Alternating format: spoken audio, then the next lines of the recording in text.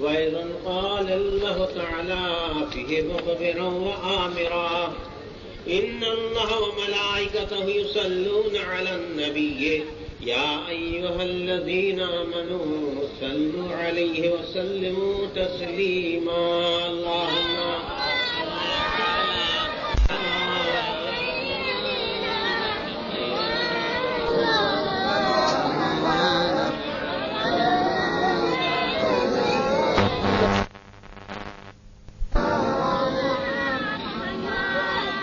نفس الفداء لقبر أنت ساكنه. نفس الفداء لقبر أنت ساكنه. فيه العفاف والجود والكرم. بلغ العلا بجماله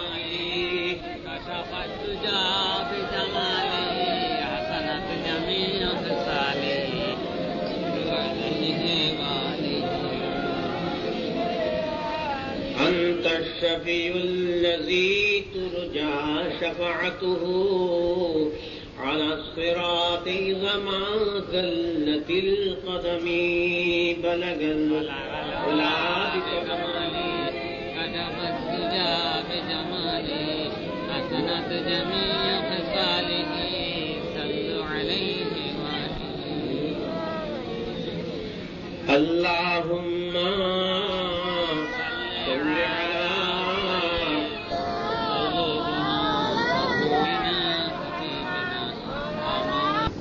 النبي صلى الله عليه وسلم في الحديث الشريف كل مولود يولد على الفطرة فأبواه يهددانه أو ينصرانه أو يمجسانه الحديث كما في المشكات উপস্থিত শ্রদ্ধেয় ওলামায় কেরা বিশেষ করে মাদ্রাসা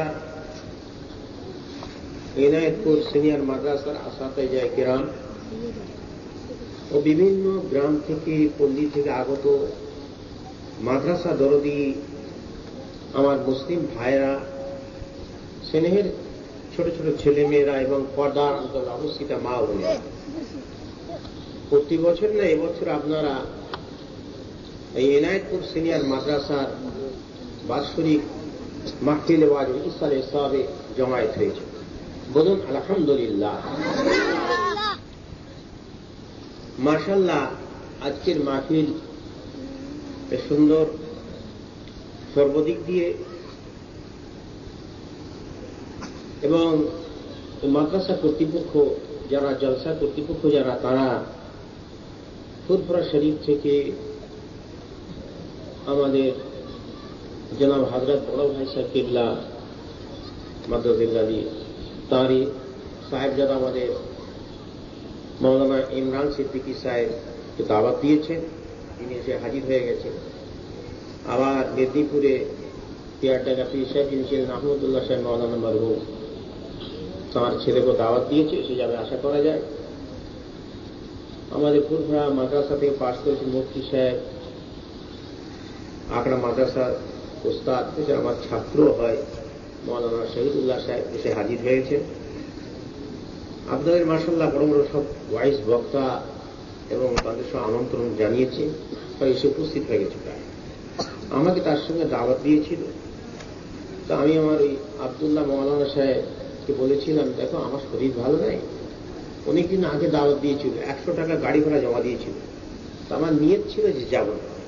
টাকাটা ফেরত দিয়ে পাঠাবো। কারণ শরীরটা খুব অসুস্থ। আমি তো কথা বলছি বুঝতে পারছি না। কিন্তু আমার এইটাই বহু পুরাতন সাথী আব্দুল মান্নান ভাইয়ের সঙ্গে আজকে দেখা হলো, অনেক কথাই হলো। হ্যাঁ? তো উনি আমার সঙ্গে মহানাকা করতে যাচ্ছে, আমি তখন উঠছি উপরে। আমি ভাই একটু দাঁড়ান ভাবলেন তাই কি ব্যাপার? আমার নিয়ামত ভাই আমাকে চিনতে পারলেন নাকি? হ্যাঁ সে একত্রিশ বছর আগে পড়াশোনা। তাই উঠে এসে বসে বললেন ভাই, না, সবই আমি আমার মনে আছে। হয়েছে কি শরীরটা খুব খারাপ? খারাপ মানে অতিরিক্ত রাত জাগা আর এইসব গাড়ি টাড়ি চালানো তখন মোটর সাইকেল খুব চালাতাম। এই নার্ভের দোষ হয়েছে বুঝলেন? এই দুটো হাত, দুটো পায়ে চলাফেরা অসুবিধা লাগে, যার ফলে এই দূরে আসানো কষ্ট। তাই মোটে আসতে চাই। ফের এই ইসলামের সঙ্গে আগে গিয়ে আবার দেখি দুশো টাকা গাড়ি ভাড়া জমা দিয়ে। আর সে মাদ্রাসা আরও উস্তাদরা ছিল, সব তাদের সঙ্গে খুব ধরল যেতেই হবে। আমি বললাম ভাই কিন্তু যেই কিন্তু এসার নামাজ পড়ে উঠবে অতএব সেই হিসাবে সে হাজির। আবার আমার ইমরান ভাই সাহেব বেচার আমার খাওয়া তো ভাই আমার বুঝলেন? নিজেদের মধ্যেই তো সব সাহেব দিকে এসে হাজির। আমি বসুন না এখানে, আমি আধ ঘণ্টা বলব হ্যাঁ বললাম তো আমি একটু ঘুরে আসি। কারণ আমি এখানেই চলে যাব। খুব সংক্ষেপে দু চারটে কথা বলব, বেশি এদিক ওদিক কথা আলোচনা রাখব না। এটা মাদ্রাসা সভা যেসব ভাইয়ের আমার আশেপাশে ঘোরাঘুরি করছেন এখনও দূরে আছেন, বাড়িতে আছেন, এসে বসুন। মাইকের আওয়াজ, সাউন্ড হয়তো ঘরে যাচ্ছে, কিন্তু তাহলে মজলিসটা একটা রৌনক এসে একটু হাজির হন, একের পর এক। যারা দেখছি দোকানগুলো সব বসে ওদেরও বেচারা একটু চলার দরকার। হ্যাঁ গরিব মানুষ সব। ঠিক আছে। প্রয়োজন মিটিয়ে আমার যেসব ভাইয়েরা দোকানের খরিদ্দার হয়ে গেছেন, এসে হাজির হন। ছেলে বাচ্চাদের কথা ছেড়ে দেন। বিশেষ করে যারা বয়স্ক মানুষ, যারা যুবক, জওয়ান, সব এসে পৌঁছন এখন এনায়তপুর এই যে গ্রাম বহু পুরাতন গ্রাম, এই গ্রামের যে কত বুজুর্গানের দিনদের সব আগমন। শুনছিলাম ফুরফুরা হাজরাত দাদা হুজুর পিকরাফতুল্লাহ এসেছিলেন। আর অন্যান্য সব হুজুর কেলাম সব এসেছিলেন কত আলেম ওলামারা এলেন বক্তা সম্রাট সব আসলেন আবার আসবে আমাদের পরে। যাক আল্লাহ গ্রামটাকে এই মাদ্রাসাকে এবং মাদ্রাসার যে সমস্ত কর্তৃপক্ষ যারা রয়েছেন তাদের সকলের জন্য দিমাগের প্রেশান দূর করবে আল্লাহ আমি এবং তাদের সকলকে কায়েমে রাখেন যেন আল্লাহ আমি মাদ্রাসা যখন ইলিম শিক্ষা সম্বন্ধে কিছু বলি, দু কথা, এই জাতি মুসলিম কম, জাতি এরা এখনও পিছিয়ে আছে। এখন অনেক পিছিয়ে আছে। জাতির অগ্রগতি শিক্ষা না থাকলে কি করে হবে? বুঝলেন? মনে রাখবেন, মাহফিলে ওয়াজ পিছনে সবাই প্রয়োজন। কিন্তু তার সঙ্গে গঠনমূলক কাজগুলো খুব বিশেষ দরকার। একটা জাতির অগ্রগতি একটা জাতির উন্নতি, একটা জাতি আগিয়ে যাবে যখন তাদের মধ্যে তাদের জাতীয় শিক্ষা তাদের মধ্যে আপনার বহুল পরিমাণে দেখা যাবে খুব সহজ কথাই বলি, একটা জামানা ছিল, একটা সময় ছিল, এই নবীদের তালিম, পয়গম্বরদের তালিম, শিক্ষা দেওয়া হতো, মসজিদের চত্বরে দেওয়া হতো, মক্তবে। হ্যাঁ? এই যে দুনিয়াতে মানব জাতির বসবাস এর আগে ছিল জিন্নাতদের বসবাস, আপনারা সব জানেন। হ্যাঁ? হাজরতে আদম ইসলামকে পাঠাবার আগে সব দুনিয়াতে খালি করা হয়েছে সব। পাহাড়, পর্বতী, জঙ্গলে হ্যাঁ সমুদ্র এলাকাতে জিন্নাতের বেশি সব তাড়িয়ে দিয়েছে ফেরেস্তারা দুনিয়া জমিন খালি করে আদম সন্তানের আবির্ভাব। বুঝলেন? কেতাবে দেখছিলাম হজরত রসুল পাক সাল্লাহ সাল্লাম মক্কা শরীফ থেকে মদিনার রাস্তায় ফিরে আসছিলেন। সাথে সাহাবায় কেরাম তারা ছিলেন। এমন সময় পেগম্বর আলম উঠের পিঠে সবার হয়ে আছেন, উঠের পিঠে চেপে আছেন। নবী পাকের সঙ্গে সাহাবায় এসব তারা উঠের পিঠে আছে। উনিকে ঘোড়ার পিঠে দাদার পিঠে আছে। এমন সময় রাস্তায় আস্তে আস্তে হুজুর বলছেন মারুজাহান একটি জায়গা? মারুজাহান যে জায়গাটা, সেই সময় বন জঙ্গলে ভরা ছিল। ও প্রচুর পরিমাণ জঙ্গল ছিল, বন ছিল। ওই মারুজাহান এখন কিন্তু সে আর বন জঙ্গলের জায়গা নয়। এখন সেখানে এয়ারপোর্ট হয়েছে এয়ারপোর্ট এই আমাদের দমদম আপনার দিল্লির পালাম বিমানবন্দর হ্যাঁ এই বিমানবন্দর হয়ে গেছে মারুজাহান হ্যাঁ সৌদি আরবের কথা আর কি সেখানে তেলের খনি বাইর হয়েছে, যার জন্য বড় মেয়ে এত অস্থির হয়ে পড়ছে। হ্যাঁ যার জন্য বড় মেয়ে অস্থির হয়েছে কি করে জুতোটা লাগিয়ে দেবো। হ্যাঁ বুঝলেন? যাক উভের উন্নত লাইনের কথা। তা যাই হোক একটু আপনাদের কাছে বললাম কথাটা। তা কি বলছিলাম? মারুজ জাহারান এখন সেই এয়ারপোর্ট মারুজ জাহারান এখন তেলের খনি সেখানে বাইর, তেল উৎপাদন হচ্ছে হ্যাঁ? এবং সেখানে একজন সাহাবা আব্দুল্লাহ বিন তারেক বালাবি রাদিয়াল্লাহু মাজার রয়েছে। হযরত আব্দুল্লাহ বিন তারেক বালাবি রাদিয়াল্লাহু একজন শহীদ হয়ে গেছেন। আব্দুল্লাহ বিন তারেক বালাবি কে ছিল? বুখারী শরীফের হাদিসে রয়েছে, আব্দুল্লাহ বিন তারেক বালাবির কথা। হযরত রাসূল পাক সাল্লাল্লাহু আলাইহি যুদ্ধের পরে, গজওয়ে উহুদের পরে গজওয়ে রাজিজে বিজে মোমনা হয়েছিল। ওই রাজিতে যে দশজন সাহাবাকে নবী পাক পাঠিয়েছিলেন, নজদের এলাকাতে নবী পাকের সাহাবায়ে কেরামদের ধোঁকা দিয়ে একশো জন তীরন্দাজ তারা করেছিল কি? নবী পাকের সাহাবাই কিরামদের ঘিরে ফেলেছিল। পাহাড়ের চূড়ায় উঠে গিয়েছিলেন দশজন। হাজরাতে হাজরাতে তার মধ্যে খোবাইব রাদিয়াল্লাহু ছিলেন হাজরত ইবনে ছিলেন হাজরত আব্দুল্লাহ বিন তারেক বালাবি ছিলেন। এই তিনজন তারা ওই মুশরিক কাফেরগুলো নিচে থেকে না আপনার হাত দিচ্ছে। তোমরা নেমে চলে এসো পাহাড়ের চূড়া থেকে। তোমাদের জানের আমরা জামিন হয়ে যাচ্ছি, মালের জামিন হয়ে যাচ্ছি, ইজ্জতের জামিন হয়ে যাচ্ছি। তোমাদের উপর দিয়ে কোনো ব্যক্তির কারোর কোনো অসম্মান সূচক কোনো কথা অসম্মান সূচক কোনো কাজ করা হবে না। হ্যাঁ? বলেছিল। বলেন। তা সাতজন তারা বললেন যে, না, মুসলিম কাফের যে বাদা অঙ্গীকার আমরা বিশ্বাস করি না। তখন তিনজন নেমে এসেছেন পাহাড়ের চূড়া থেকে বুঝলেন? খুব সংক্ষেপ কথা। বখারি ছিল হাদিস এসেছে। আমি বখারি ছিল আর নাগাজি বাস পড়াই তো তা তিনজনের মধ্যে তিনজন যখন নেমে আসলো সাতজনকে নিচে থেকে তীর মেরে মেরে শহীদ করে দিয়েছে। বুঝলেন? এই তিনজন যখন নেমে আসলো, আসার পরেই এদের হাত থেকে ধনুকটা ছিনিয়ে নিল। আর ধনুকের যে তাঁত থাকে না, যেখানটা রেখে তীর ছড়ে, আমাদের ভারতবর্ষের সব আদিবাসী যারা সাঁওতাল, ওরা এইসব ব্যবহার বেশি করে। ওই তাঁত খুলে হাত বাঁধতে শুরু করে হ্যাঁ?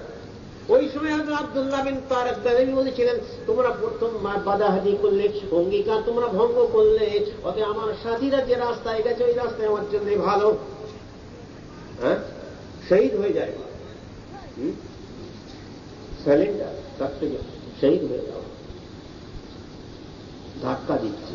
পাহাড় পিছনটা ধাক্কা দিচ্ছে। হ্যাঁ? তাদের টেনে টেনে নিয়ে যাচ্ছে। কোথায় নিয়ে যাচ্ছে? মক্কা নিয়ে বিক্রি করবে হ্যাঁ? এমন সময় মানুষ যেমন পৌঁছেছে, ওই জায়গাতে হাজা আব্দুল্লাহ বিন তারেক বালিমিরা দিনানো নিজের হাতটা খুলে ফেলেছেন, খুলে সঙ্গে তলবার দিয়ে খুলে দূরে দাঁড়িয়ে গেছেন। এ তোমাদের মধ্যে কেউ সমস্যার মোকাবেলা করে চলে এসো। মারুজাহানি আব্দুল্লাহ বিন তারেক বালিমিরা দিনান ওই মুশরিক কাফেরদের হাত থেকে হাত ছিনিয়ে নিয়ে আর নিজের হাতের বাদনটা খুলে নিয়ে বহু দূরে দাঁড়িয়ে গেছেন, ছুটে গিয়ে তরবারিটাকে উল্লঙ্গ তরবারি তুলে ধরেছেন। যদি কেউ তোমার মধ্যে থাকে, চলে এসো, আমার সামনে চলে এসো। এমন সময় শয়তান মুশরিকরা করেছিল কি? আব্দুল্লাহ বিন তারেক বালাবিকে দূর থেকে? পাথর মেরে মেরে ইমারুজ্জাহান শহীদ করে দিয়েছে। বুঝলেন? পাথর মেরে মেরে শহীদ করে ওই আব্দুল্লাহ বিন তারেক বালাবি রাতের মাদার ওই মারুজ জাহারানে আছে। যাক কথা অন্য। যে কথা বলছিলাম হজরত মোহাম্মদ রাসুল্লাহ সাল্লাম যখন নাকি ওই জম্মু মক্কা শরীফ থেকে মদিনার রাস্তায় যখন আসছিলেন এমন সময় এই মানুষ জাহানের কাছাকাছি একটা জায়গায় হুজুর দেখতে পেলেন যে একটা উঠির পেয়ার হুজুর উঠে দিয়ে সবার হয়ে আছেন। দেখতে পেলেন একটা বৃদ্ধ মানুষ বয়স্ক মানুষ লাঠির ঘর দিয়ে একটু আগে আগে যাচ্ছে হাঁটতে হাঁটতে যাচ্ছে। হুজুর পিছন থেকে ও আগে আগে যাচ্ছে। অপরিচিত মানুষ। হুম? পয়গম্বর আলম হাজরত নবী পাক বললেন, আমার মনে হচ্ছে এই বাড়ে মিয়া হয়তো কোনো জিন হবে। যে যাচ্ছে, বড় মেয়ে, লাঠির ভর্তি যাচ্ছে না, ও জিন, জেন জেন। তখন সে ঘুরে দাঁড়িয়ে বলছে, আসসালাম আলাইকুম। বলে, ইয়া রাসূলুল্লাহ। বলে, সালাম দিয়ে বলছেন, ইয়া রাসূলুল্লাহ, ইয়া হাবিবাল্লাহ, আপনার ধারণা, আপনার গুমানটা সঠিক গুমান হুজুর, আমি একজন জিন। আমি একজন জিন। ইয়া রাসূলুল্লাহ, কি বলব?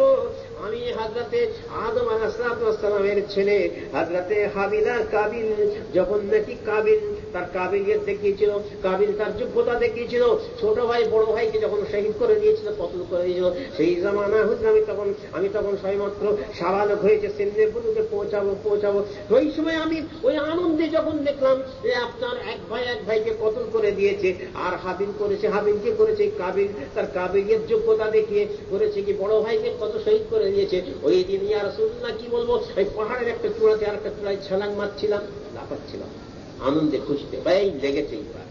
হ্যাঁ? আপনার দুনিয়াতে আমাদের ঘটিয়ে দিয়েছে আল্লাহ। জিন্নাতদের সরিয়ে দিয়েছে যে জমিনে আবাদ হবে মানব জাতি আবাদ হবে। হ্যাঁ? মানুষ, এরা আল্লাহর খরিফা এরা। ইনি যায় ফুলাতে খরিফা হয়েছেন হুম? জমিনে খরিফা তৈরি করে পাঠাচ্ছে আল্লাহ হাজরতে আদেম।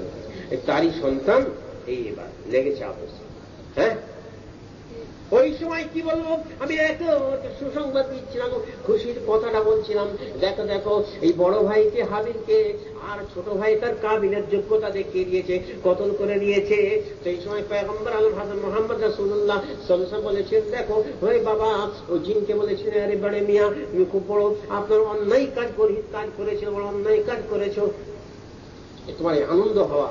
খুশি হওয়া লোককে এই দিক থেকে লাফিয়ে, লাফানো হ্যাঁ এদিক থেকে ওদিক লোককে খবরটা পৌঁছে দেওয়া, এটা ঠিক হয়। তখন বলছেন, ইয়া রসুল্লাহ আমি পরে কিন্তু তবা করে ফেলেছি। মুসলমান হয়ে গেছে। হাজরত নু পয়গম্বরের হাতে হাত দিয়ে মুসলমান হয়েছে। হাজরত নু পয়গম্বরের হাতে হাত দিয়ে বায়াত হয়েছে। ইয়া রসুল্লাহ আমি হাজরত মুসা কালিমুল্লাহর জামানা পেয়েছি। আমি হাজরত ইব্রাহিম খালিলুল্লাহর জামানা পেয়েছি। হাজরত ইসমাইল সবিহুল্লাহর জামানা পেয়েছি। হাজরত ইসহাকের জামানা পেয়েছি। আমি হাজরতে নবীর ছেলে হাজরত ইউসুফ আলাইসলামের জামানা পেয়েছি। হাজরত ইউসুফ আলাইসলামের হাতে হাত দিয়েছি। যেদিন নাকি তার ভাইরা হাজরত ইউসুফকে মিশরের ওই আপনাদের কেনানের কুয়ায় ফেলে দিয়েছিল। ওই দিন আমি কিন্তু কেনানের কুয়াতে হাজরত ইউসুফকে ফেলার আগে আমি কুয়ার মধ্যে পৌঁছে গিয়েছিল ওকে সাহায্য করার জন্যে? হুজুর, আমি কিন্তু এতগুলো পয়গম্বর রসুল, নবীদের সঙ্গে রসুলদের সঙ্গে দেখা হয়েছিল। তাদের সব কিন্তু একের পর এক সব ত্যাগ আমি তবা করছি আপনার কাজ করতে হজরত ঈসা রুহুল্লাহর সঙ্গে দেখা হয়েছিল। হজরত যেদিন নাকি ওই আপনার আপনার নাকি জেরুজালেমেতে হজরত রুহুল্লাহকে যেদিন দেবে বলেছিল। থেকে আসমানে তুলে নিয়ে যাওয়া হয়েছিল। সেই দিন আমি হজরত ঈসা রুহুল্লাহর সঙ্গে ছিলাম। হজরত রুহুল্লাহ যাওয়ার আগে আমাকে বলেছিল যে, তুমি যদি মোহাম্মদ সঙ্গে তোমার মোলাকাত হয় দেখা হয়, আমার সালামটা পৌঁছে দিও। সালামটা পৌঁছে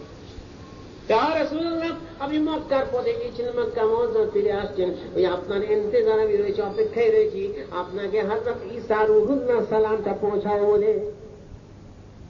যাক কথা কি দিকে চলে যাচ্ছে? আমি কি বলতে চাইছি? যে দুনিয়াতে জিন্নাতের বাস ছিল তাদের হটকে দিয়ে মানব জাতিকে সেখানে নিয়ে আসা হয়েছে। হ্যাঁ? এদের পথ দেখাবার জন্য রাস্তা দেখাবার জন্য যুগে যুগে একজন পেগম্বার রসুল একাধিক পেগম্বার রসুলকে আল্লাহ পাঠিয়েছেন। বুঝলেন জাতিকে জাতির অগ্রগতি কমের তারাক্কি কমের খের ফলাহ বাহবুদির জন্য শেষ নবী আমাদের আকায় নামদার হাজর আহমদ মুস্তফা পেয়ারা নাম মোহাম্মদ মুস্তফা সাল্লাহ নবী পাক চলে গেলে তারাক তো ফিকুম সৈয়ায় হুজুর বলে গেছেন দুটো জিনিস তোমাদের মধ্যে রেখে যাচ্ছে দুটো জিনিস তোমাদের রেখে গেলাম একটা কিতাবুল্লাহ আল্লাহ পাকের কোরআন শরীফ আর একটা সুন্নতি হাদিস। বুঝলেন? এই দুটোর তালিম কারা শিক্ষা তারপরে কারা দিয়েছেন? সাহাবাই কিরাম রেজওয়ান রেজওয়াইন তাবেইন তাবা তাবেইন আইমা মুস্তাহিদিন হ্যাঁ? মুহাদ্দিসিন, মুফাসসিরিন, ফুকাহা উসুলিন, এরা সব সেই পয়গম্বর নবী পাক রেখে যাওয়া সেই দিনের তালিম এদের দ্বারা চলে আসছে আল ওলামা ওয়ারাসাতুল আম্বিয়া। আপনারা সব জানেন? আলিম যারা জাননেওয়ালা যারা, এরা নবীদের সব ওয়ারিস। বুঝলেন? সেই তালিম একটা সময় হতো, মসজিদের চত্বরে হতো। হ্যাঁ? কেউ তার বাড়ির দলি যে হাদিসের তালিম শিক্ষা দিত হ্যাঁ? হজরতে আলকামা মদিনা মনোবরাতে হজরত আলকামা যখন তার বাড়ির সদরেতে, যখন আলকামা যখন আপনারা হাজমে হাদিস পড়াতেন হজরত আলকামার পর যিনি নাকি সাহাবাই কেরামদের পরে তার এই ছিল মস্তর আবদুল্লাহ বিন মাসউদ রাদিয়াল্লাহু সাগরেন হজরত আলকামা যখন হাদিসের তার শিক্ষা দিলেন, আলকামার মাহফিলে একটা তো নয় পঞ্চাশ জন বয়স্ক সাহাবা বসে থাকতেন। বুঝলেন? পঞ্চাশ জন কম বেশি, পঞ্চাশ জন বয়স্ক সাহাবাসে বসে থাকতেন। তা তাদের জিজ্ঞেস করতেন সব আলকামার অন্য ছাত্র যারা সাহাবা নয়। মানে আপনারা সব রসুল্লাহ সাহাবা, আপনারা এখানে বসে আছেন কেন? হ্যাঁ? আলকামার মাহফিলে কেন? হ্যাঁ? তখন তিনি বলতেন তারা বলতেন যে রসুল্লাহর হাদিস, নবী পাকের হাদিস, উলুমে হাদিস আলকামার কাছে জমা হয়ে গেছে। বহু রেবায়ত আমাদের জানা নেই। সাহাবা হলেও আমরা অনেক হাদিস আমরা জানি। যার ফলে এই জানবার জন্য এই আলকামার মাহফিল এসে বসেছি। বুঝলেন? একটা জমানা ছিল, সময় ছিল, গাছের তলায় তালিম চলত। সুলতান গিয়াসুদ্দিন বলবনের জমানা, সুলতান গিয়াসুদ্দিন বলবন তার জমানাতে দিল্লিতে এক মহাদেশ এসেছিলেন বোখারা থেকে ছিলেন মহাদেশ। মাদ্রাসা তালিমের একটা কথা বলছি তার দিল্লিতে এক মহাদেশ এসেছেন বোখারা থেকে। তো মহাদেশ তখন দিল্লিতে মুসলিম শাসন গিয়াসুদ্দিন বলবন তখন দিল্লির বাদশাহ। এখন দিল্লিতে এসে হজরত হাদিসের তালিম দিচ্ছেন। গলার আওয়াজ এত বুলন্দ ছিল না? তখন তো লাউড স্পিকার এত মাইকের ব্যবস্থা ছিল না। তা হজরতের আপনার মজলিসে ছাত্রদের কথা সাধারণ মানুষ এসে একাকে ভিড় করতে যেমন বাদশাহ দরবারে হুজুম হয়, ভিড় হয়, সেই রকম। এই যে এনায়তপুর মাদ্রাসা সিনিয়র মাদ্রাসা। মাদ্রাসায় আশিকা বিশেষ করে ছাত্র, ছাত্রী তারা তারাই পড়াশোনা করে। আর যদি গার্জেনদের মধ্যে কনসাসনেস ভাব থাকে, একটু সজাগ ভাব থাকে, দেখি আমার ছেলে ঠিক পড়ছে কিনা, একটু খবরটা নিই হ্যাঁ? বাড়িতে, বাড়ির সঙ্গে গার্জেনদের প্রত্যেকটা বাড়ির সঙ্গে হ্যাঁ? একটু ওস্তাদদের সম্পর্ক একটু গড়ি, দেখি আমার ছেলেটার একটু রেজাল্টটা নিয়ে এসি হ্যাঁ? আর তা না যা যাচ্ছি তো যখন হলো হলো নাই তারপরে অন্য কাজ রয়েছে হ্যাঁ? বুঝলেন? এই এরকম করলে হবে না। বুঝলেন? আপনারা সব মাদ্রাসাতে এসেছেন মাদ্রাসা সব খায়ের খাস, শিক্ষা দরদি। প্রত্যেকটা গার্জেন তার ছেলে মেয়েদের প্রতি খুব ভালো করে লক্ষ্য হবে। বুঝলেন? ছেলেটা ঠিক মাদ্রাসায় যাচ্ছে কিনা? ঠিক মতো পড়াশোনা করছে কিনা? মাদ্রাসায় ঠিক পড়াটা দিচ্ছে কিনা? হ্যাঁ? স্কুল ছুট, অনেক ছেলে পালায়। স্কুলে আর আসে না। কেন? তাদের পড়াশোনা হয়নি কেন? বাড়িতে মা বাপের ঝগড়া বিবাদ দিয়ে খুব ভালো লাগে না কেন বাড়িতে যদি মা বাপ যদি সংসারে বিভিন্ন কারণে হয়, অর্থনৈতিক কাঠামো ভাঙা, খুব অবস্থা খারাপ মা বাপ প্রায় ক্যাচে কেটে করছে। অনেক সময় হয় বাপ নেশা করে চলতে চলতে আসলো, এসে মায়ের সঙ্গে ঝগড়া লেগে গেল। হ্যাঁ? সেসব বাড়িতে ছেলে মেয়েদের পড়াশোনা খুব কঠিন। খুব ভালো কথা করে শুনবে। জাতিকে আগিয়ে যেতে হবে। একটু সজাগ হতে হবে। হজরত ইমামে আজম আবু হানিফা রহমাতুল্লাহ বলেন যে বিরোধী হিজিতে আমি মক্কা মহত্তমা আমার আব্বা জানের সঙ্গে হজে গিয়েছিলাম, হজ পাকে গিয়েছিলাম, মক্কা মহত্তমাতে বিরোধী হিজি হজরত ইমামে আজম আবু হানিফা রহমাতুল্লাহ বলেন, আমার তখন বয়স ষোলো বছর। কিন্তু অনেকে বলেন আশি হিজিতে যেটা তারিখে সীমা আবু হানিফার জন্ম তখন বারো বছর হওয়ার কথা। কিন্তু আমি বলছি স্পেনের একজন লেখক, ইবনে আব্দুল আল মালিক আল আন্দলুসি তার কেতাব লিখছেন। কিতাব ইলমে ফাজিল হযরত ইমামে আজম আবু হানিফা রাহমাতুল্লাহ বলেন যখন নাকি আমি বিরোধী হিজিতে আমি আমার সঙ্গে আপনার নোমান নাম ছিল ইমাম আবু হানিফার, বাপের নাম ছিল আমার সঙ্গে আল্লাহর কাবা শরীফ করতে গিয়েছিলাম ইরাকের কুফা থেকে। এমন সময় খানে কাবা হলো। হওয়ার পরে আল্লাহর ওই কাবা শরীফের চক্র দেখে এক জায়গায় ভিড় হয়ে আছে। বহু মানুষ চতুর্দিকে ঘিরে দাঁড়িয়ে আছে। আমি আব্বাকে বললাম, আব্বা যান ওই জায়গায় এত ভিড় কেন ভিড় কেন? ওই জায়গায় এত কেন মানুষের হুজুম কেন? তখন আব্বা বললেন, বাবা, নমান আবু হানিফাকে বলছেন, বাবা নমান ওই জায়গায় একজন রসুল্লাহ এক সাহাবা এসে তাশরিফ নিয়েছেন। আল্লাহ নবীর সাহাব একজন এসেছেন একটু ওখানে পৌঁছাবার জন্য একটু করে দেন আমার আমিও নবী পাকের সাহাবার সঙ্গে দেখা করব সাহাবার সঙ্গে করব কাছে দেখা করব, একটু আমাকে রাস্তাটা করে দেন পৌঁছাবার জন্য। ছেলে জওয়ান, ষোলো বছর বয়স। আর বাপ বয়স্ক মানুষ, বৃদ্ধ মানুষ, বাপকে বলছে সাহাবার সঙ্গে দেখা করো ভিড়ের মধ্যে গিয়ে একটু রাস্তা করে দেবে। খুব ভালো শুনে কথা। কেন? বৃদ্ধ মানুষ বললে একটু রাস্তা দেবে। হ্যাঁ? যুবকদের হয়তো কেউ এগোতে দেবে হ্যাঁ? এই সমাজে অনেক জায়গায় দেখবেন, নমা, নজওয়ান যুবকরা এটাকে পিছিয়ে রাখার ফলে এরা অনেক সময় একটু ব্যাগ হচ্ছে। এদের মধ্যে বিপ্লবী মনোভাব এসে যাচ্ছে। অনেক কাজে কাজেতে একটা মনে করুন গ্রামে কোনো যদি সভা হয়, জলসা হয়, যুবকগুলো আগিয়ে দেবেন ওরা ছুটবে সাইকেল নিয়ে দু একটা পাপা ভেঙে যাবে, হাত পা কেটে যাবে, অতি ওদের আনন্দ। কি, ঠিক বলছি না, ভুল বলছি? হ্যাঁ? ইমাম সাহেব খুব চালাক হলে ওই যুবকগুলোকে হাতে নিয়ে ওদের দ্বারা অনেক কাজ করা। দেখবেন? হ্যাঁ? তো যাই হোক হাজরত ইমাম আবু হানিফা রহমতুল্লাহ নজওয়ান যুবক বাপকে বলছে, আব্বা, একটু রাস্তাটা করে দেন বাপ একটু আগে এগিয়ে যাচ্ছে, ছেলে যুবক পিছন শুনে যাচ্ছে। করে শুনবেন বাড়ির গার্জেন ছেলেকে রসুল্লাহ সাহাবার সাথে দেখা করতে হ্যাঁ? অতএব গার্জেনের কীরকম ভূমিকা থাকা দরকার? কি বুঝতে পারছেন তো? বাপের কীরকম ভূমিকা থাকা দরকার, ভূমিকা? এখন তো হিন্দু জাতির মধ্যে বাপ তো বিভিন্ন কাজে ব্যস্ত থাকে, তাদের মায়েরাই এই ভূমিকাটা দেয়। হ্যাঁ? আমাদের একটু পর্দা সিস্টেমের ব্যাপার রয়েছে, আবার শিক্ষার অভাব রয়েছে, অনেক কিছু আছে। এমন সময় আজাদ ইমামে আজম আবু হানিফা রহমতুল্লাহ বলে, যখন আমি পৌঁছালাম, দেখি নবী পাকের সেই সাহাবা, তার মাথার চুল একবারে সাদা হয়ে গেছে, গোপগুলো সাদা হয়ে গেছে, দাড়িগুলো সাদা হয়ে গেছে, একেবারে কাস্তা গাফা উঠে একেবারে গায়ের পশমের মতন হয়ে গেছে। এমন সময় নবী পাকের সেই সাহাবা, তিনি একটা হাদিস শোনাচ্ছেন, যে হাদিসে তিনি বলছেন, যখন আমি তার কাছে পৌঁছালাম, তখন তিনি বলছেন যে, আমি স্বয়ং রাসুল্লাহ সাল্লামের মুখে জবান মুবারকে শুনেছি, যদি কোনো মানুষ এলমে দিন শিক্ষা করে দিনের এলিম যদি কেউ শিক্ষা করে। শুধু তাই নাই তার মধ্যে তাপাক্য তৈরি করে তার মধ্যে যে পাণ্ডিত্য অর্জন করে তার ডিপনেসে যদি নেমে যায় গভীরতায় নেমে যায় ওই মানুষটির জন্য ওই আলেমের জন্য আল্লাহ পাক রেজেক এমন ভাবে দেবেন সে মানুষটার ধারণাই থাকবে না বলুন সুবহান বুঝতে পারছেন?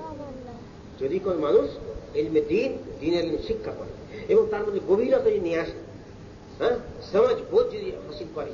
আল্লাহ পাক তার রিজিক, রুজি এমন ভাবে দেবেন যে তার ধারণার বাইরে এই হাদিসটা আমি শুনেছি, হাজরত ইমাম আবু হানিফা রহমতুল্লাহ বলেন, ওই সাহাবার নাম হচ্ছে হারিস বিন জুজ বিন হারিস বিন আব্দুল্লাহ বিন জুজ হজরত হারিস বিন আব্দুল্লাহ বিন জুজ তার নাম। তাহলে শুনে কি বুঝলেন? বাপ কীরকম ছিলেন? ছেলেকে রসুল্লাহ সাহাবার কাছে পৌঁছাবে গার্জেন হ্যাঁ?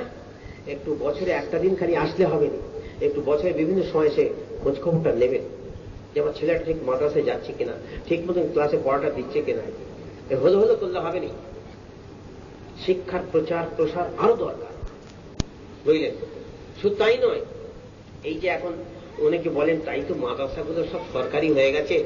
আর মৌলানা সাহেবরা মাস্টাররা মোটা মাইনে পাচ্ছে, ওদের আর কি আছে? হ্যাঁ ঠিক কথা। কিন্তু এই ছাত্রগুলো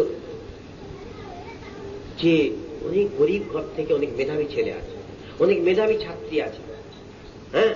এদের স্কুলের পোশাক, মাদ্রাসার পোশাক, বইপত্র, এদের পড়ার একটা সুব্যবস্থা, হোস্টেল, এইগুলোরও প্রয়োজন হ্যাঁ? একটা পরিবেশ তৈরি করতে হবে। মিশনগুলো কীরকম কাজ করছে।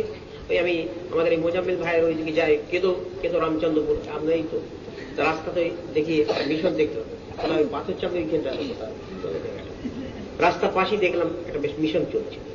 বুঝলেন একটা সুন্দর পরিবেশ তুলে গড়ে তুলেছে। মাঝখানে পুকুর আছে, চতুর্দিকে গাছ লাগিয়েছে, ঘরগুলো ছিমছাম হ্যাঁ? এবং বাউন্ডারির মধ্যে ওখানে ওদের হোস্টেল চলছে। লোকাল ছেলেরা যায় ঠিক কথা, কিন্তু ওখানে বিভিন্ন জায়গার ছেলেরা আসে। হুম? তা আমাদের এই জাতির উন্নতির জন্য এই মাদ্রাসার একটু উন্নতির দরকার। কথা বুঝলেন এবং বর্তমান বেশ মাদ্রাসাগুলোতে মাসাল্লাহ অনেক মেয়ে ছেলে পড়ছে। কো এডুকেশন সহশিক্ষা। এটা আমাদের একটু লক্ষ্য রাখতে হবে। এখন মোটামুটি এখন মেয়ে ছেলেদের তো গার্লস মাদ্রাসা সেরকম করা যাচ্ছে না বাধ্য হয়ে এইসব জায়গায় দেওয়া। এটাও চিন্তা ভাবনা রাখা দরকার। তো এনায়তপুর সিনিয়র মাদ্রাসা আপনার বহু পুরাতন মাদ্রাসা। এই মাদ্রাসার দিকে আপনারা সব এসেছেন একটু লক্ষ্য রাখবেন খেয়াল রাখবেন। আল্লাহ সকলকে তৌফিক আল্লাহ আমিন। দেখুন এই যে অনেক সময় হয় কি, হয়তো বিদেশি টাকা পয়সা সেটা সব জায়গায় পাওয়া যায়, তার জন্য প্রচেষ্টা অনেক ধান্দা দরকার, সবসময় হয়ে ওঠে। আবার হয়তো উপরে গেল সেখান থেকে ফরেন মানিটা আসতে গেলে, টাকাটা নিয়ে আসতে গেলে যে এখানকার যে পাসটা দরকার সেটা অনেক জায়গায় দিচ্ছে না। বিভিন্ন কারণ, যা কত কথা বলার এ নেই। যাক মোটামুটি কথা তো আমার বলা হচ্ছে সেইটাই। কিন্তু এলাকার যে সমস্ত ধনী ভাই যারা আছেন মালদার ভাই আছেন তাদের দানটা বজায় রাখবে। বুঝলেন? কেন? আপনার যে কোনো কাজ করতে গেলে অর্থের দরকার। নো মানি তো ফানা ফানি টাকার প্রয়োজন। সেই হিসাবে একটু আপনাদের খেয়াল রাখতে হবে। আল্লাহ বা সকলকে তফিক দিক। আল্লাহ আমিন। এগুলো সব সদকায় জারিয়া। হ্যাঁ? সদকায় জারিয়া এগুলো। আমি একটা হাদিস পড়ছিলাম মেশকাতুল মাসাবি থেকে। হাদিসটা কি? প্রত্যেকটা সন্তান দুনিয়াতে আসছে আলাল ফেতরাত বলেছে ফেতরাতের ব্যাখ্যা বিভিন্ন করা হয়েছে। মোটামুটি আকলে সালিম সুস্থ একটা বিবেক নিয়ে আসছে। মায়ের পেট থেকে দুনিয়াতে সন্তান ভূমিষ্ঠ হচ্ছে, হওয়ার পর সে যে আসছে, সেটা সুস্থ বিবেক নিয়ে আসছে। আকলে সালিম নিয়ে আসছে। এবার তার বাপ মা তাকে ইহুদি তৈরি করছে, বাপ মা তাকে খ্রিস্টান তৈরি করছে, বাপ মা তাকে মজুসি তৈরি করছে। অর্থাৎ বাপ মাকে যেরকম দেখবে, ছেলে ঠিক সেরকম শিখবে। হ্যাঁ? দেখবেন, ইহুদির ঘরে ছেলে আসছে, ইহুদি তৈরি হচ্ছে। কেন হচ্ছে? সে কিন্তু প্রত্যেক জন্মের পরে ইহুদি নয়, খ্রিস্টান নয়, মজুসি অগ্নি পুজো নয়। নিজের মা বাপ যে মাঝহাবের যে ধর্মের সেই ধর্ম সে ধরে নিচ্ছে। হাদিস পাক, নবী পাক বলছেন কামা আতুন তাজিল বাহি মতো বাহি যেমন একটা চতুষ্পদ জন্তু যখন কোনো বাচ্চা প্রসব করে, হুজুর বলছেন, তার মধ্যে কোনো যারা কান কাটা দেখতে পাও কি? কোনো ত্রুটি দেখতে পাও? সে পূর্ণ একটা গঠন নিয়ে বাছুরটা দুনিয়াতে আসছে। আসার পরে দুনিয়ার মানুষ তার গার্জেন করছে কি, মালিক করছে কি, তার নাকটা ছিদ্র করে দিচ্ছে, কানটা কেটে দিচ্ছে হ্যাঁ? কিংবা কোহান পুজোতে হয়তো কোথায় আর বাপ মা যদি একটু নামাজি হয় বাপ মা যে কোরআন শরীফ তেলাওয়াত করে ঘরে হ্যাঁ বাপ মা যে দিনিয়াত মনোভাবের হয়, ছেলের মধ্যে সেই মনোভাব জেগে উঠবে আল্লাহ বা সেই তৌফিক সকলকে দিক। আল্লাহ আমি কি কথা বলছিলাম? ও বোখারা থেকে মহাদেশ এসেছিল দিল্লিতে। এসে সে খুব বুলুন্দ আওয়াজ আপনার হাদিস পড়াচ্ছেন। এমন সময় হলো কি, সাধারণ ছাত্র তো দূরের কথা, সাধারণ মানুষ এসে হুজুম করল। এমন সময় গয়াসুদ্দিন বলবনের বাদশাহ দরবারে কিছু মাতার দরবারে গিয়ে বললেন শাহ, আপনি তো শাহ থাকতে বসে আছেন। খবর রেখেছেন কি খবর? বোখারা থেকে একটা মহানা সাহেব, একজন মহাদেশ সাহেব বোখারা থেকে এই দিল্লি জমিন এসেছে। আসি মহাদেশ সাহেব, তার গলার আওয়াজ এত সুন্দর, এত প্রলুন্দ আওয়াজ স্বর আর শুধু তাই নাই। পড়াবার টেকনিকটা এত ভালো, কথা বলার পদ্ধতি এত ভালো, এত কথা মানে গুছানো ভাব রয়েছে যে সাধারণ মানুষ পর্যন্ত হুজুম করছে। সেই তার দরবারটা মনে হবে বাদশাহ দরবার, আর কিছুদিন গেলে হয়তো আপনার দরবার খালি হয়ে যাবে, ওই মৌলানা সাহেব হয়তো দিল্লির তত্ত্বে বসে যাবে। তাই হ্যাঁ? কি করা যায়? এক্ষুনি ওকে সরাতে হবে থেকে। মৌলানা সাহেবকে দিল্লির জমিতে সরাতে হবে।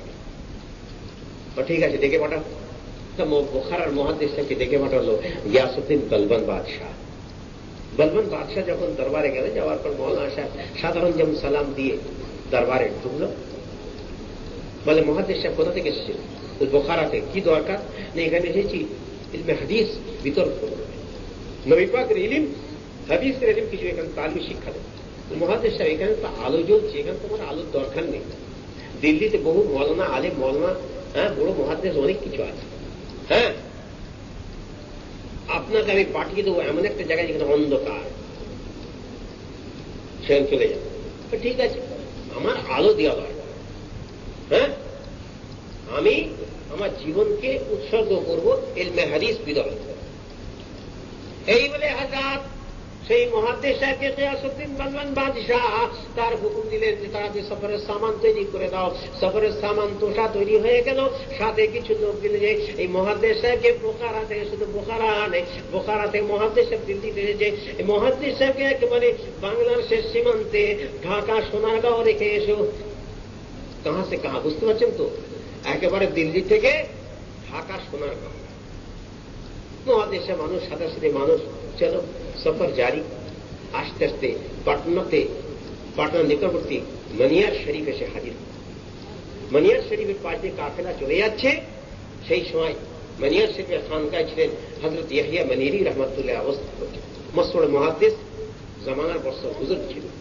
তো ইয়াহিয়া মনিরি রহমতুল্লাহ কি বললেন, হুজুর, এখান দিয়ে একটা কাফেলা যাচ্ছে, বোখারের এক মহাদেশ সাহেব রয়েছেন, উনি বাংলাতে যাচ্ছেন। তখন ইয়াহিয়া মানিদি রহমতুল্লাহ আলিম মানুষ মহাতে আপনার বুজুর্গ মানুষ আলিমের কদর বোঝেন ঠিক আছে তাকে দাওয়াত দরকার হবে তিন দিনের জন্য মেহমান নামাজি দাওয়াত দেওয়া হল খানকাতে এসে অবস্থান করলেন কথাবার্তা প্রসঙ্গে বুঝতে পারলেন যে মহাদেশ সাহেব বোখারাত দিল্লিতে ইলমে হাদিসের দশ দিচ্ছিলেন পড়াচ্ছিলেন। গিয়াসুদ্দিন বলবন বাদশাহ ওকে দিল্লিতে বার করে দিয়ে পাঠাচ্ছে কোথাও ঢাকা শোনা ওই সময় হাজরত শরফুদ্দিন ইয়াহিয়া রহমতুল্লাহ, হাজরত শরফুদ্দিন আহমদ, ওনার ছেলের নাম ছিল হাজরত শরফুদ্দিন আহমদ, মাত্র সাত বছর বয়স। বাপকে বলছে, আব্বা যান, আপনি একটু ইজাজত দিয়ে দেন, আমি মহাদেশ সাহেবের সঙ্গে ঢাকা সোনারগাঁও যাব। আব্বা যান, একটু ইজাজত দেন। বাপ বললে, বাবা, তোমার মাত্র সাত বছর বয়স, অল্প বয়স, বাবা। এই বয়সে কি করে তোমাকে অনুমতি দিই? বিহার পাটনা থেকে কোথাও বাংলার শেষ সীমান্তে ওই ঢাকা সোনারগাঁও যাবে। কিন্তু ছেলে জেদ ধরলো গার্জেন আর ছাত্র, বুঝতে পারছেন তো? গার্জেন আর ছেলে। ছেলে বলছে আপা আমাকে সাথে দিতেই হবে। এই সুযোগ ছাড়লে হবে না। হ্যাঁ? ট্রেনিং মাদার ট্রেনিং মায়ের শিক্ষা, ঘর থেকে শিক্ষাটা সেইভাবে হয়েছিল। হ্যাঁ? যার জন্য ছেলে বলছে, আমি মহাদেশ সাহেবের সঙ্গে বিহারের পাটনা ছেড়ে দিয়ে যাব কোথা বা নিজের বতন মাতৃভূমি ছেড়ে যাব কোথা? ঢাকা সোনার গাঁও যাব বাপ বললেন, ঠিক আছে, চলো দে দিতে সফর জারি। ঢাকা সোনারগাঁও এসে পৌঁছা কথা খুব সংক্ষেপ। এমন সময়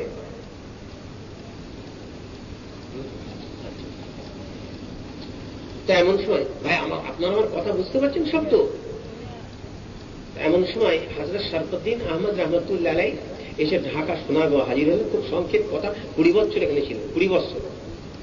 কুড়ি বছর ছিলেন। থাকার পরে চিঠি আসছে বিহারের পাটনা মানিয়ার শরীফ থেকে যে আপনার ওয়ারিদ মোহতারাম আব্বা ইন্তেকাল করেছে।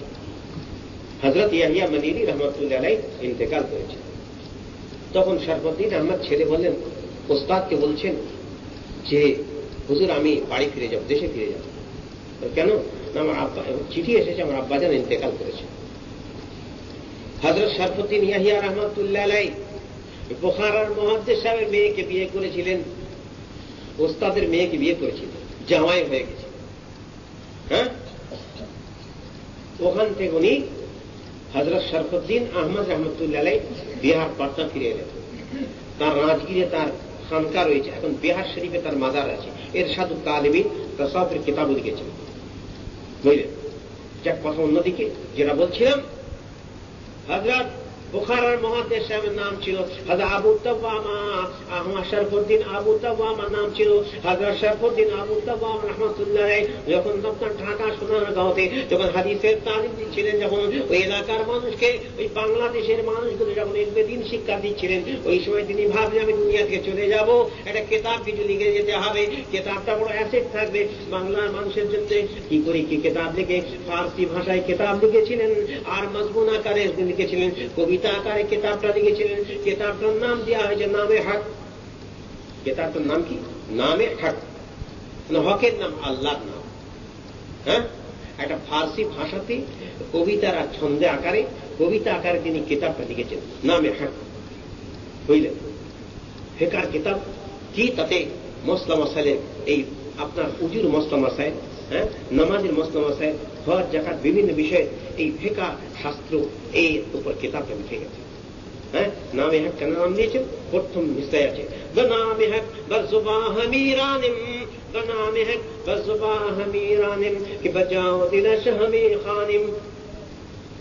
আমি তো ফার্সি উঠে গেছে। আর আগের মতো ফার্সি তো আর নেই। ফার্সি উঠে গেছে। আমরা সব বাচ্চারে ফার্সি পড়তাম আমার আব্বাজান খুব মারতেন আমাদের এই ফার্সি পড়ার জন্য। হ্যাঁ? বজা নারানিম কি বলব? আমি আমার সুবনেতে আল্লাহর নাম, হকের নামে এইভাবে আমি চালনা করছি। খানিম। আল্লাহর নামটা আমি অন্তর অন্তঃস্থল থেকে জান দিল থেকে আমি আল্লাহর নামটা পাঠ করে যাচ্ছি। দেখেন না হালকায় জিকির, জিকিরের তাসাফে এলমে জিকির যে করাই নাই, বলে জিকির আল্লাহ কাছে জবানে বললাম আল্লাহ, একটু কালবে বলতে হবে একটু জিকির করুন না আপনার, আল্লাহ আল্লাহ আল্লাহ আল্লাহ আল্লাহ। বললে কালবের সঙ্গে সম্পর্ক, হম? জোবানে খালি বললে হবে না কালাবে ধাক্কা লাগবে হ্যাঁ? ওরকম থেকে আল্লাহ বলছে, আবার দ্বিতীয় আল্লাহ এখন বলছে কালাবে ধাক্কা দিচ্ছে হ্যাঁ? ফিকার কিতাব লিখতে গিয়ে হবে? আপনার মস্তার কিতাব লিখতে হবে কি? জমানার বড় মহাদেশ ছিলেন এলমের তাসাব কোট কোট করে টুকরো টুকরো করে এলমের তাসাব ওই ফেকার কিতাবের মধ্যে ভরে দিয়ে গেছেন। বুঝলেন? তো যাক, যেটা বলছিলাম যে একটা জমানা ছিল, গাছের তলায় বসে তালিম শিক্ষা চলত। হ্যাঁ? আমি যেটা বলতে চাইছি, গাছের তলায় বসে শিক্ষা চলত। এখন তো সে জমানা নেই। এখন সব সুব্যবস্থা হয়েছে। হুম? মক্তবের জন্য আলাদা ঘর তৈরি হচ্ছে। মসজিদের মসজিদ আলাদা, মক্তব আলাদা, মাদ্রাসা আলাদা, উচ্চশিক্ষা কার্যটা হ্যাঁ? এই যে ভারতবর্ষে, বিশেষ করে পশ্চিমবাংলা, বহু জায়গায় মক্তব তৈরি আছে মাদ্রাসাগুলো তৈরি আছে। বুঝলেন? তাদের মাধ্যম দিয়ে ইলমে হাদিস ও কোরআনের ইলিম জারি হবে, তারই প্রচেষ্টা। একটু জাতি যে আগিয়ে না আসে সহযোগিতা প্রত্যেকেই দরকার। হ্যাঁ? একটা মাদ্রাসার ছেলে মেয়ে, একটা স্কুলের ছেলে মেয়ে পড়বে, কলেজের ছাত্রছাত্রীরা পড়াশোনা করবে, একটা স্ট্যান্ডে একটা রিক্সা চালকের সহজ দরকার আছে। হ্যাঁ? যারা রিক্সা চালায়, মজদুর, তাদেরও সহজ দরকার আছে। বুঝলেন? যার যেরকম সহজ দরকার একটু সহজ করতে হবে। আল্লাহ পাক সকলকে তৌফিক দিবেন আল্লাহ আমিন। হ্যাঁ? কেন? সহজে সারা কোনো কাজ হবে না। হ্যাঁ? এই যে মাদ্রাসা যেখানে আছে, যারা এই মাদ্রাসার জমিন দিয়েছেন হ্যাঁ? ওয়াকাত লিল্লাহ করে আল্লাহ রাস্তে যারা মাদ্রাসার ঘরগুলো তৈরি করতে সাহায্য করেছেন, বিভিন্ন রকমের, যারা চাঁদাপত্র কালেকশন করেছেন হ্যাঁ? এখনও যারা মাদ্রাসা পরিচালনা করছেন, বুঝলেন? এসবগুলো একটু সৎকার জারি সব কেন? এই মাদ্রাসা থেকে ইলিমের নহর জারি হবে হ্যাঁ? হাজার আবদুল্লাহ বিন মাসুদ রাদিয়াল্লাহুর কথা বলি আবদুল্লাহ বিন মাসুদ রাদিয়াল্লাহু যখন মদিনা শরীফে যখন পৌঁছাতেন, মসজিদে নামাজ পড়তে যেতেন মদিনা শরীফে, তখন মদিনা ইউনিভার্সিটি, মদিনার শরীফের মসজিদে চত্বরে চলত। আল্লাহ নবীর মসজিদে চলত মদিনা ইউনিভার্সিটি।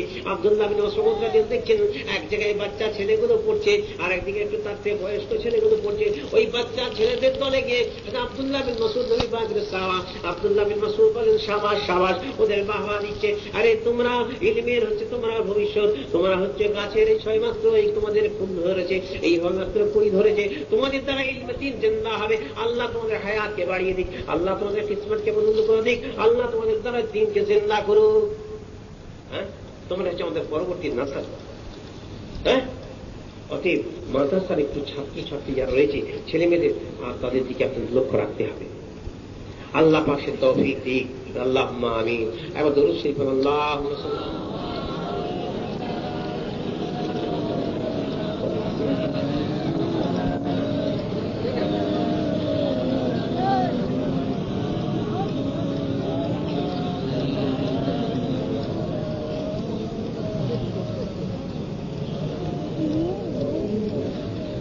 হজরত রাসুলে পাক সমাইলে তিরমিজ দেখছে রাসুলে পাক সাল্লাল্লাহু আলাইহি মদিনা শরীফে যখন নবী মাগরিবের নামাজ পড়তেন, নামাজটা পড়ে নবী পাক মসজিদে নামাজ পড়ে হুজুর করতেন যে হযরতে আয়েশার ঘরে ফিরে আসলেন কিংবা সেই রাত্রে যে আপনার স্ত্রীর ঘরে থাকার পালা, সেই ঘরের মধ্যে হুজুর এসে বসলেন।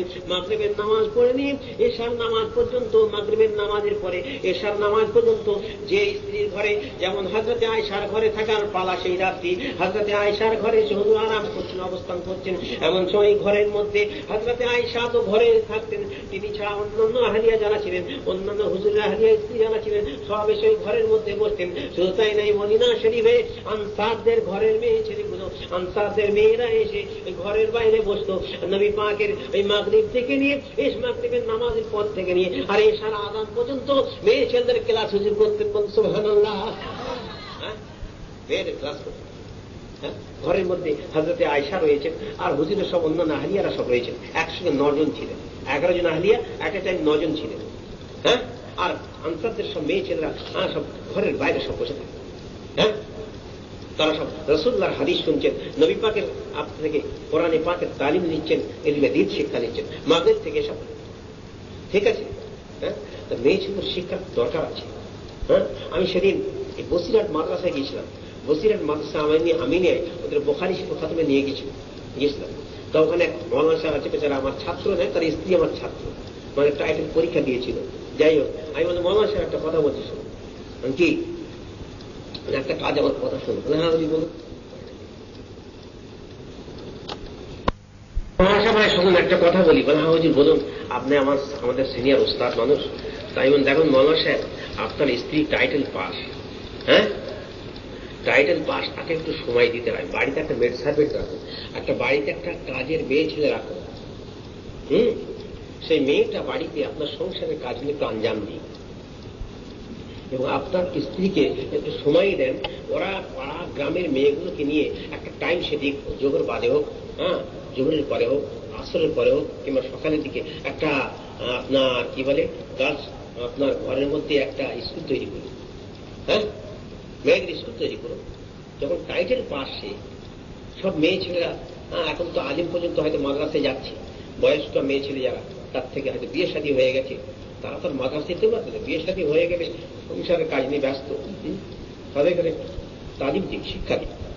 বলে হ্যাঁ ওই ভালো কথা বলেছেন। মানে হ্যাঁ আমি না শুনতে পাই যে হ্যাঁ ওই অমুক গ্রামে অমুক জায়গায় মৌলানা সাহেব তার স্ত্রী টাইটেল পাস তিনি, তার স্ত্রীকে একটু টাইম দিয়েছেন।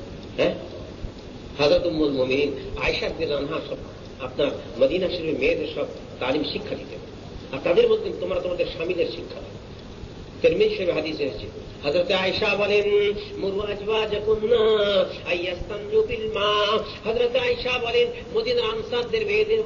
তোমরা তোমাদের স্বামীদের বলো তারা যেন ওই পেশাব তারা যেন পায়খানা ফিরে নিয়ে তারা যে বিল মা পানির দ্বারা ব্যবহার করে শুধুমাত্র পাথর আর ওই আরব দেশের পাথরগুলো আরব দেশের বালুগুলোকে নিয়ে ওই কুলুপ তৈরি করে খালি পায়খানায় ব্যবহার না করে তারা যেন মা তারা যেন পানি ব্যবহার করে ফাইন্নি আস্তাহিহিম আমি আয়েশা মদিনাতে তোমাদের স্বামীগুলো আমার বাড়ির দুয়ারে আসে, ঠিক কথা। হাজরাতে আয়সার ঘরের দুয়ারে এসে মাহিরের বসে, ঠিক কথা। আমি তোমাদের স্বামীদের ওইসব কথা বলতে আমি লজ্জা বোধ করি। আমি মেয়ে ছিল হ্যাঁ? তোমরা তোমার তোমাদের সব স্বামী, তোমরা স্ত্রী, তোমরা তোমাদের স্বামীদের ট্রেনিং দাও, শিক্ষা হ্যাঁ? কি কথা বুঝতে পারছেন তো? হ্যাঁ? তো মেয়ে ছেলেদের যে ট্রেনিং দেওয়া হয়, শিক্ষা দেওয়া হয়, ওরা ওদের মাধ্যম দিয়ে আমাদের স্বামীগুলো শিক্ষা পাবে। পাবে না এই খুলনা টুটপাড়া গিয়েছিলাম, খুলনা বাংলাদেশ খুলনা টুটপাড়া। অবস্থা গিয়ে সেই টুটপাড়া পিসায় দেখি পিসায় বলছে ওখানে দাদা হুজুর কেলা খলিফা ছিল? খলিফা তিনি ইন্তেকাল করেছেন, তার ছেলের ওয়াইফ স্ত্রী, বৌমা গ্রাজুয়েট হ্যাঁ? সেই বৌমা তিনি এখন শ্বশুরের কাছ থেকে ইলমে তাসাফের তালিম নিয়েছিলেন হ্যাঁ? প্রতি বৃহস্পতিবারে হালকা জিকির করে, জিকিরের মাফি তো বললে, হুজুর বাড়তে বাড়তে এখন তো চারশো না পাঁচশো হয়ে গেছে। মেয়ে ছেলে হ্যাঁ? এখন চারশো, পাঁচশো মেয়ে ছেলে, তারা প্রতি বৃহস্পতিবারে মাগরীবের সময়, টাউনের ব্যাপার মাগরীবের সময় আসে ঘণ্টা খানেক থাকে, চলে যায়। কিন্তু এতে অনেক বাড়িতে বাধা পায়। এখন হুজুর কি বলব, এই পাঁচশো মেয়ে ছেলে, এদের প্রত্যেকের স্বামী এখন পাক্কা নামাজি বল সুবহান। হ্যাঁ? ওরা বাড়িতে গিয়ে আবার ওদের স্বামীদের ট্রেনিং দিচ্ছে হ্যাঁ? স্বামীদের তালিম দিচ্ছে শিক্ষা দিচ্ছে বুঝলেন? মেয়ে ছেলেদের মাধ্যম দিয়ে হ্যাঁ শিক্ষা তাদের স্বামীরা খুব কায়দায় ভালো মতন পায়। সেরকম দিতে হবে টাকা একজন আমাকে মস্তা জিজ্ঞেস করছিল, এক আমার ডাক্তার সাহেব, বললেন, গতবারে বললে একটা আহলে হাদিসের মেয়ে আছে, তার সঙ্গে বিয়ে করব কিনা? মেয়েটা কিন্তু সায়েন্স গ্রাজুয়েট মেয়ে ডিস্টিংশন মার্ক নিয়ে পাস করছে ক্যালকাটায়। হ্যাঁ? তো যখন ডাক্তার সাহেব দেখতে গেল মেয়েটিকে তা সাথে ওর ভাই আছে, বলছে, মুখটা তো দেখতে হবে বোরকা পরে আছে। বলছে, না।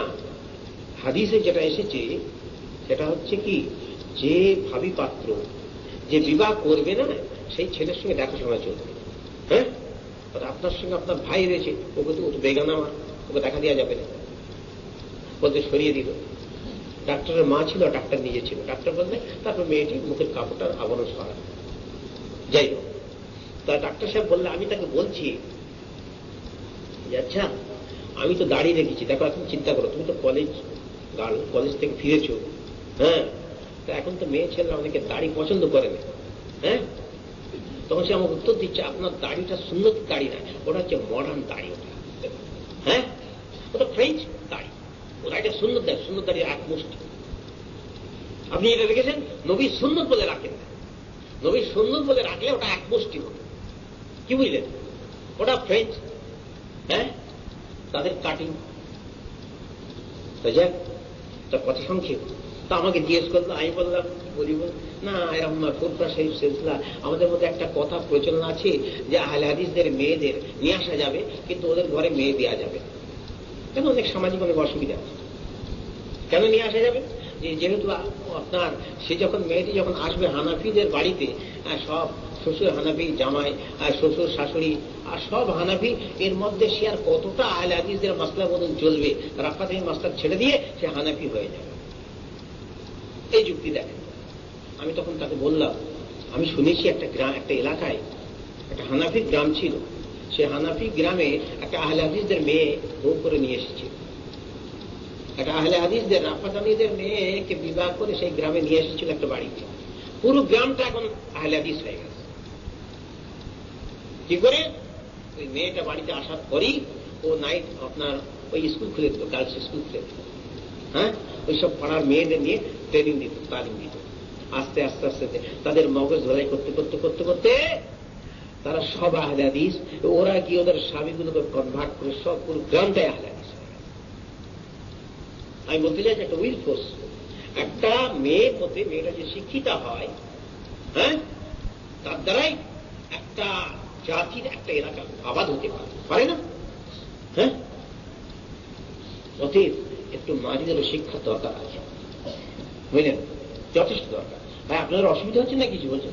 হ্যাঁ? একটু কম জাতি যাব এটা আমি চাই। আমার আর অজনসের ভালো লাগে বুঝলেন না? ছেড়ে দিতে চাইছে আর ছেড়েও দিয়েছি। একটা গঠনমূলক কাজ শুরু, উন্নয়নমূলক কাজ শুরু। এই কাজটা এই যে মাদ্রাসা যতদিন থাকবে, মাদ্রাসা থেকে ছাত্রছাত্রী বাইর হবে, এদের দ্বারা দিন প্রচার হবে। ওয়াজের মাজিদ দরকার, আমি খুব দূরের কথা বলছি। ইসলাম ইসলাম মাজিদ দরকার গঠন গঠনমূলক কাজগুলো আমাদের করতে হবে। বুঝলেন? যাতে জাতির উন্নতি কমের তারাকি যাতে হবে হজরত মোহাম্মদ রাসুল্লাহামের কথা হজরত উম্মে সালেমা নবী পাকে রাহলিয়া মুহাম্মদ মোমিন দুনিয়ার মুসলমানদের মাঝে হজরত উম্মে সালেমা বলেন, যেদিন রাতের বেলা নবী পাকের আমার বাড়িতে থাকার পালা, আমার ঘরে পালা, থাকার পালা, এসব নামাজ পড়ে পেগম্বর আলম যখন ঘরের মধ্যে আসতেন, এসে খাওয়া দাওয়া করলেন, রাতের খাবার খেয়ে, হুজুর আর কথা বলতে রাজি হতেন না, হুজুর বেশি কথা বলতে চাইতেন না এসব নামাজের পড়ে এমন সময় হুজুর প্রত্যেক সেই ঘরের মধ্যে অন্যান্য ঘরে যে আহিয়া যারা স্ত্রী থাকতেন, সব বিদায় দিয়ে দিতেন, তোমরা চলে যাও, চলে যাও। একমাত্র এই ঘরে যিনি তিনি রয়ে গেলেন একই পিছনে পাশাপাশি পেগম্বর আলম মাথায় তাকিয়াটা দিয়েছেন, মাথায় বালিশটা দিয়েছেন। হোমের ফলাহের কথা, জাতির উন্নতির কথা, জাতির অগ্রগতির কথা, এদের খায়ের কাহির কথা, এদের বাবুদির কথা বলতে বলতে পেগম্বর আমার ঘুমিয়ে পড়তেন। হ্যাঁ? মাথায় বালিশে মাথা দিয়ে হাজরুম্মে সালেমা বলেন, আমার সঙ্গে খোঁজ গল্প করা দূরের কথা হুজুর, কি হবে? কমের কি হবে? তাই তো অতদূর প্রতি ইসলাম পৌঁছালো। আমার কতদূর কোথায় কোন কোন কাজগুলো বাকি আছে? কাল কি হবে? আমার সময় তো কম। জাতির উন্নয়ন, তাদের উন্নতি, কমের ফলা বা বুদ্ধি এদের তারাক্কির জন্য চিন্তা করতে করতে পেগম্বার রাতের বেলা ঘুমিয়ে পড়তে বুঝলেন? অতএব সেই নবীর চিন্তা ভাবনা একটু রাখতে হবে মাথায়। হ্যাঁ? সে কমের, একটু কম দরদি হতে হবে। মুসলিম কমকে জিন্দা করে দিক আল্লাহ আমিন। হ্যাঁ? সাহাবা রসুল যারা ছিলেন, তারা কি ছিলেন, কি হয়ে গেল? হ্যাঁ? নবীবাগ সাহাবাই কিরাম যেসব এলাকায় গেছেন, সেই এলাকা কীভাবে আবাদ করেছেন? হ্যাঁ? এগুলো দেখতে হবে। যাক, সেই ইলিম আমাদের কাছে পৌঁছে গেছে। আল্লাহ পাক সকলকে তৌফিক দিক। আল্লাহ আমিন। আবার ধরে আল্লাহ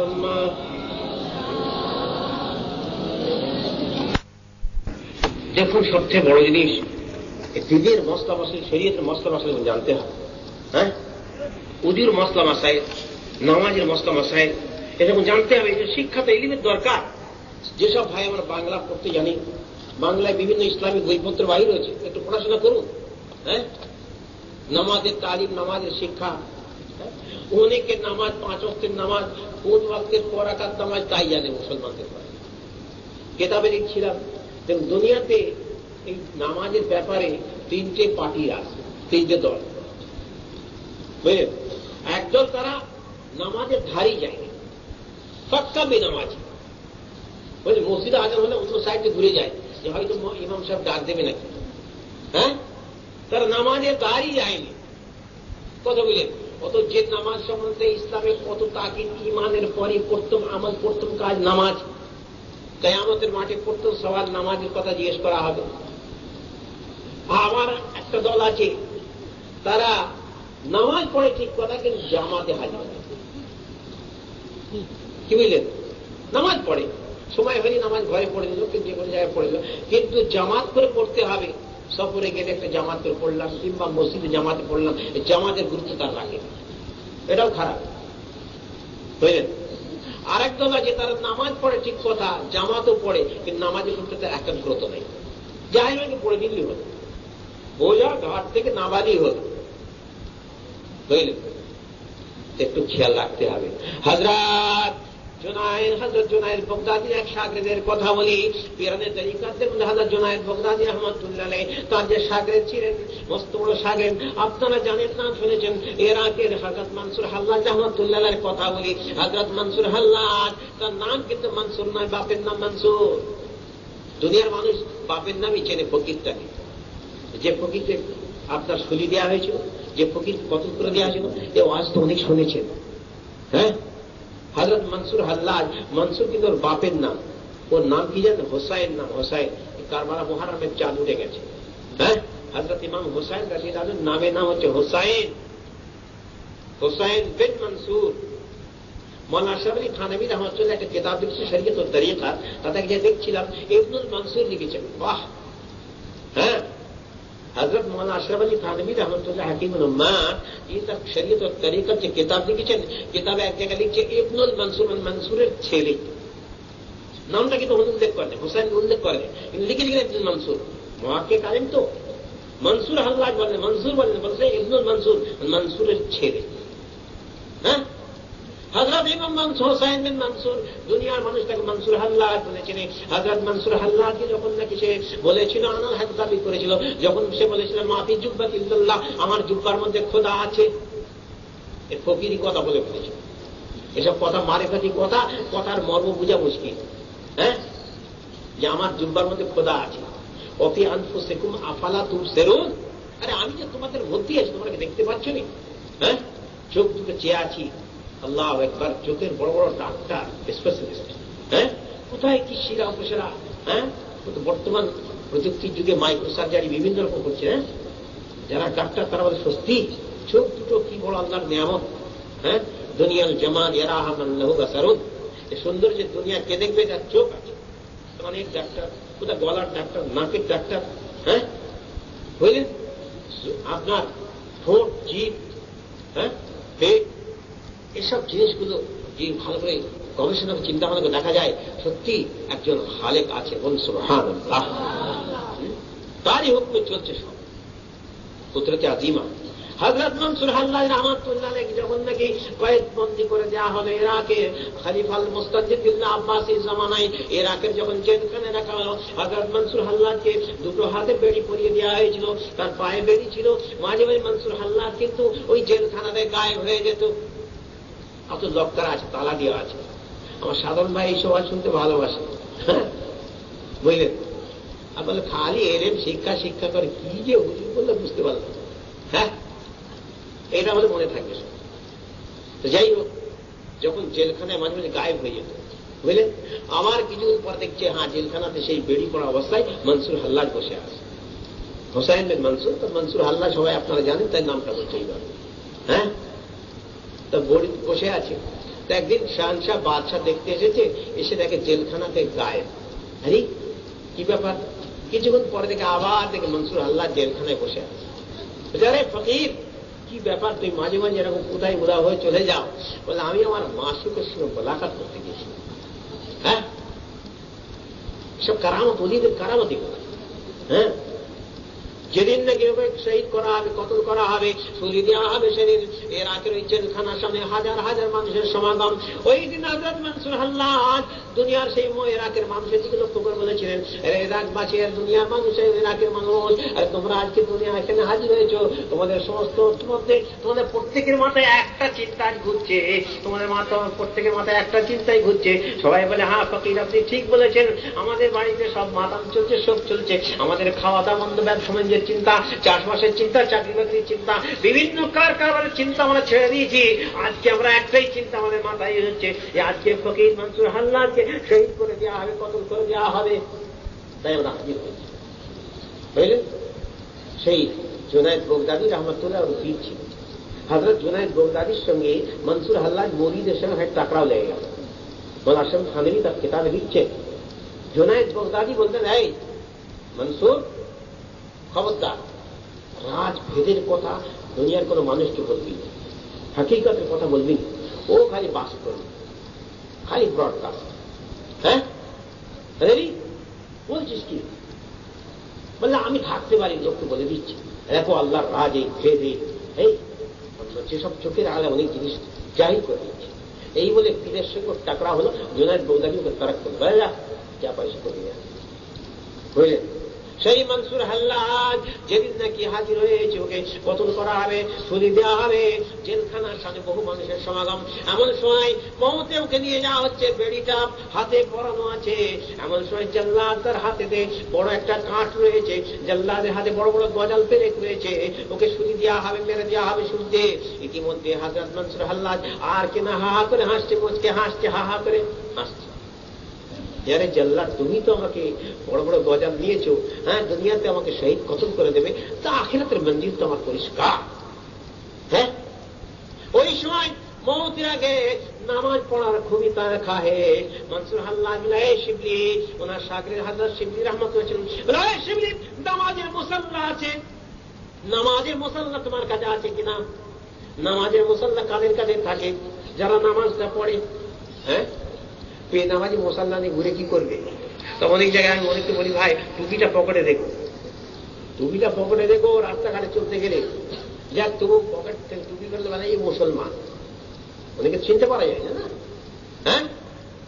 তো নামাজের মুসল্লা থাকলেও বুঝতে পারবে এই মুসলমান। হ্যাঁ? নামাজে মুসল্লা কাদের কাছে থাকে? যারা নামাজ পড়ে। হজরত শিবলি বলে, এই শিবলি, নামাজে মুসল্লা আছে? শিবলি বললেন যে হ্যাঁ নামাজের মুসল্লা নামাজের মুসল্লা বিছিয়ে দাও। আমি তো ফকির, আমি তো এই অবস্থায় আছি। নামাজের মুসল্লা বিছিয়ে দেওয়া হলো। দু রাকাত নামাজ পড়লেন। প্রথম রাকাত নামাজে। এটা সুন্দর সাহাবা। হ্যাঁ? হাজরত খোবাইব রাদিয়াল্লাহু যখন শহীদ করা হয়েছিল গজওয়ে রাজিদ, যে ঘটনা আছে, বোখারি হাদিসে, তিনি শহীদ হওয়ার আগে দুরাকাত নামাজ পড়েছেন। হ্যাঁ? প্রথম রাখার নামাজে ফকির মানসুর হাল্লাজ করছে কি জানেন? সুরাহে ফাতে আলহামদ সুরা পড়ছে। তা পড়তে হবে, কেরাতে পড়তে হবে, তাই তো? নিয়ম তো তাই। হ্যাঁ? কিন্তু কেরাতে জোরে পড়ছে। বুঝলেন? নফল নামাজ দিনের বেলা, তেরাত বিলজিয়া জোরে নামাজ পড়ছে।